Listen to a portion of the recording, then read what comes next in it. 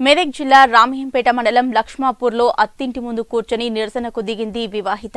భవ్య భర్త సంతోష్ కుమార్ అత్తింటి వారి వేధింపుల నుంచి కాపాడాలని ఆవేదన వ్యక్తం చేస్తుంది.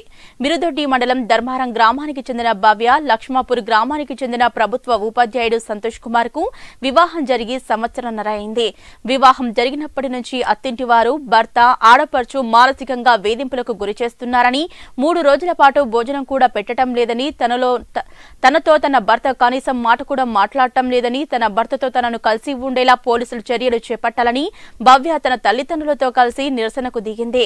లక్ష్మాపూర్లో నిర్వహిస్తున్న ఈ నిరసన ధర్నాకు మంజీరా సేవా సమితి వారు ముంగర్తి సుధాకర్ ఆధ్వర్యంలో మద్దతు తెలిపారు. కాగా అత్తింటి వారు మాత్రం ఇంటిలో లేరు. ఇల్లుకు తాళం వేసి భవ్య కుటుంబ సభ్యులు రాకముందే వెళ్ళిపోయారు పెళ్ళైన మరుసటి రోజు నుంచే నాకు ఎంతో మెంటల్ టార్చర్ చేయడం జరిగింది.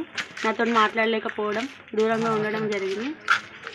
వాళ్ళు నన్ను మెంటల్గా ఎంతో టార్చర్ పెట్టారు మా ఆడపడుచు కూడా మాట్లాడనిచ్చేది కాదు మా భర్తతోటి. ఇప్పుడు వాళ్ళని ఒకదాన్ని రూమ్లో వదిలేసేటోళ్ళు. ఎదురుగా షాప్ ఉంటే వాళ్ళు వాళ్ళు మాట్లాడుకుంటే రూమ్లో ఒక్కదాన్నే ఉండదాన్ని.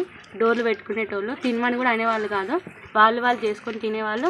మిగిలింది ఉంటే తినాలి లేకపోతే లేదన్నట్టే పర్స్ వాళ్ళ హస్బెండ్. అతను కొద్ది వీళ్ళు నాకు టార్చర్ పెట్టడం తోలుకోకపోవడం ఏం చేసి అందుకని ఇల్లు లాకేయడానికి కారణం కూడా తనే ఇక. అతను ఎక్కడ డ్యూటీ చేస్తాడు? ఆయన మెదక్లో చేస్తాడు. మీరు ఎవరికైనా పై వాళ్ళ కప్చోర్ అయ్యారా పోలీస్ స్టేషన్కి ఇట్లా? లేదు ఇంకా. న్యాయం కోసం ఇక్కడికి వచ్చేసి ఎందుకు అంత దూరం అని?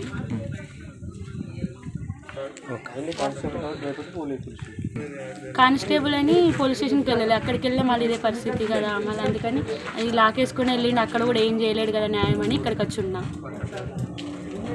పెళ్ళైన నుంచి మా ఆడపడుచు వాళ్ళ హస్బెండ్ ఇక్కడనే ఉండేవాళ్ళు. మా ఆడపడుచు ముగ్గురు పిల్లలు. ఎప్పుడు వాళ్ళని చూసుకునే వాళ్ళు. మా మా భర్త కూడా మా చెల్ల పిల్లల కోసం పెళ్ళి చేసుకున్నా అనడం ఊకే దూరంగా ఉండడం మాట్లాడలేకపోవడం. ఎందుకు పెళ్ళి చేసుకున్నావు అంటే మా చెల్ల పిల్లల కోసం చేసుకున్నా నాకు ఏం లాభం లేకుండా పోయింది అనడం. ఫుడ్ వాళ్ళు వండుకొని వాళ్ళే తినేటోళ్ళు తినమని అనేటోళ్ళు కాదు. ఒకరోజు పాలు అయినందుకు తెల్ల నుంచి పాలు బంద్ చేయడం జరిగింది. కనీసం కప్పుకోవడానికి దుప్పటి కూడా ఇవ్వరు వాళ్ళు. లేవంటారు. ఏమనంటే మా చెల్లె అని చెప్తారు. ఏ విషయమైనా.